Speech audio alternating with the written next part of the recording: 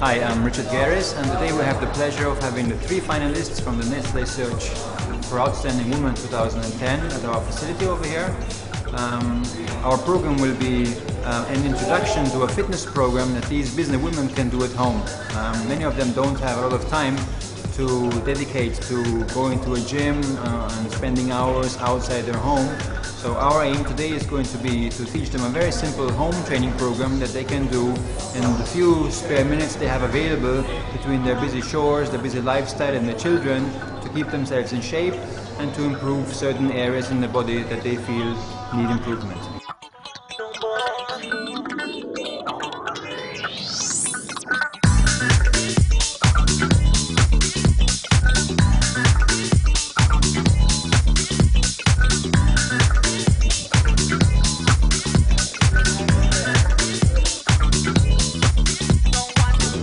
Session with Richard Geres. Um, it was a very interesting session. Showed us some uh, workouts to do at home in front of TV um, for a quick lifestyle, and it felt good. You know, after all the repetitions, it felt good. Today's session was with Richard Geres. Um, uh, he showed us how to do a fitness routine um, that only takes uh, 15 minutes without using equipment. Uh, showed us crunches to help um, uh, bellies and upper body. Um, uh, for someone like me who doesn't like to use gym equipment, it's, uh, it's ideal and I really, really enjoyed it. Thank you, Richard. Okay, today's fitness class with Richard um, showed us how to keep fit without using any machines.